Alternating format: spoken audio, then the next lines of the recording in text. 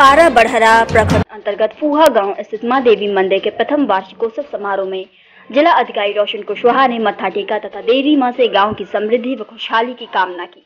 मिली जानकारी के अनुसार गाँव में स्थापित बहुत पुराने व ऐतिहासिक मंदिर के जीर्णोद्धार के बाद विगत वर्षों बाद भव्य व आकर्षक मंदिर बनाया गया। जहाँ पूजा अर्चना को लेकर दूर दूर से बड़ी संख्या में श्रद्धालु दर्शन करने नित्य प्रतिदिन आते हैं। प्रथम वार्षिकोत्सव समारोह का दो दिवसीय धार्मिक आयोजन में वैदिक पूजा व 24 घंटे के अखंड हरिनाम संकीर्तन के साथ प्रारंभ हुआ। इस मौके पर पहुँचे जिला अधिकारी रोशन कुशवाहा को गाँव के राष्ट्रपति पुरस्कार से पुरस्कृत हुए कामेश्वर सिंह तथा समाज सेवी प्रमोद कुमार सिंह। उर्फ़ बम्बम सिंह ने अंग वस्त्र से सम्मानित किया। साथ ही कुंतल कुमार, राधे श्याम सिंह जैसे गणमान्य कई लोगों को भी सम्मिलित सम्मानित किया गया। मंच संचालन करते हुए पूर्व सैनिक ईश्वर दयाल सिंह ने डीएम से मंदिर तथा गाँव के विकास को लेकर आयोजन समिति की तरफ़ से ज्ञापन सौंपा, जिस पर डीएम ने सकारात्मक सहयोग का भरोसा जताया। मौके पर बासुकी नाथ देव दुबे, नारायण सिंह, नारायण राम कुंदन श्रीवास्तव, राजू सिंह, दीपक सिंह, राजा बाबू सिंह, बिट्टू सिंह, विकास सिंह, कमल देव सिंह, बिजू सिंह, गुड्डू सिंह, मुकुल सिंह, राकेश सिंह, विकास कुमार सिंह सुनील कुमार सिंह सहित अन्य सैकड़ों कई लोग इस कार्यक्रम में उपस्थित थे।